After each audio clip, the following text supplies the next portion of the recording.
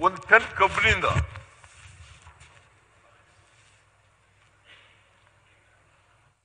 ಸಿಪ್ಪೆ ಎಷ್ಟು ಸಿಗ್ತದೆ ಗೊತ್ತಾ? ಮುನ್ನೂರು ಕೆಜಿ.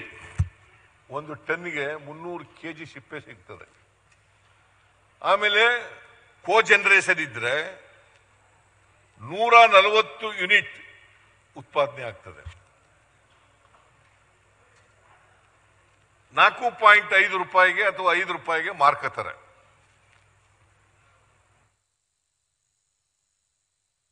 ಆಮೇಲೆ ನಲವತ್ತಿಂದ ನಲವತ್ತೈದು ಲೀಟರ್ ಮೊಲಾಸಿಸ್ ತಯಾರಾಗ್ತದೆ.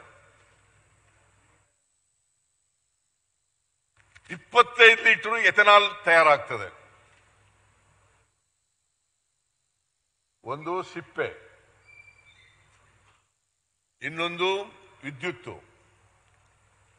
ಎರಡನೇದು ಮೊಲಾಸಿಸ್, ನಾಲ್ಕನೇದು ethanol.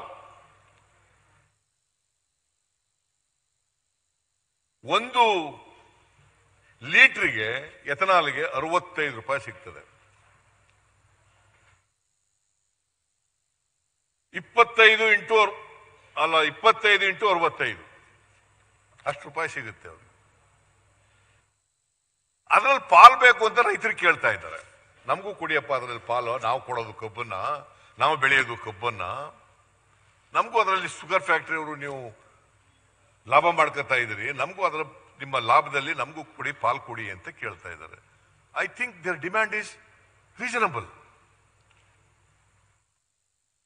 their demand is reasonable ಅದನ್ನು ಕೊಡ್ಸೋಕ್ಕಾಗಿಲ್ಲ ನಮ್ಮ ಕಾಲದಲ್ಲಿ ಒಂದ್ಸಾರಿ ಎರಡು ಸಾವಿರದ ಹನ್ನೆರಡು, ಹದಿಮೂರು ಹದಿಮೂರು, ಹದಿನಾಲ್ಕು ಅಂತ ಅನ್ಸುತ್ತೆ.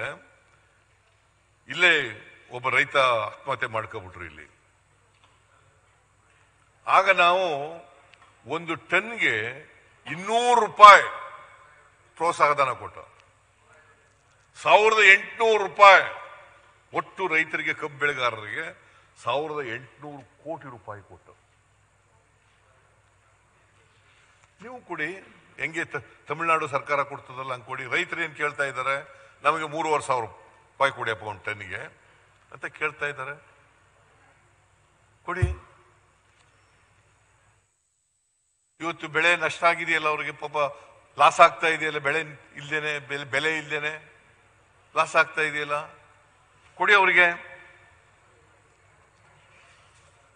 ಆಮೇಲೆ ಕೇಂದ್ರ ಸರ್ಕಾರ ಪೆಟ್ರೋಲ್ ಜೊತೆಗೆ ಟ್ವೆಂಟಿ ಪರ್ಸೆಂಟ್ ಇಥನೇಲ್ ಇಥನೇಲ್ ಅದನ್ನ ಬ್ಲೆಂಡ್ ಮಾಡಬಹುದು ಅಂತ ಅವಕಾಶ ಕೊಟ್ಟಿದ್ದಾರೆ.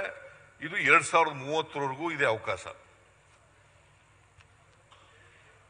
ಸೊ ಶುಗರ್ ಫ್ಯಾಕ್ಟರಿ ಹತ್ರ ಮಾಡಿಕೊಡಿ.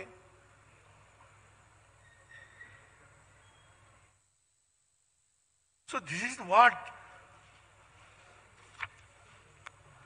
ರೈತರು ಕೇಳ್ತಾ ಇರ್ತಕ್ಕಂಥದ್ದು. ಅದಕ್ಕೋಸ್ಕರ ರೈತರು ಅನೇಕ ಕಡೆಗಳಲ್ಲಿ ಚಳವಳಿ ಮಾಡ್ತಾರೆ. ಬಿಜಾಪುರದಲ್ಲಿ, ಬಾಗಲಕೋಟೆನಲ್ಲಿ, ಬೆಳಗಾಂನಲ್ಲಿ, ಮಂಡ್ಯದಲ್ಲಿ. ಗುಲ್ಬರ್ಗಾದಲ್ಲಿ ಎಲ್ಲ ಕಡೆ ರೈತರು ಪ್ರತಿಭಟನೆಯನ್ನು ಮಾಡ್ತಾ ಇದ್ದಾರೆ.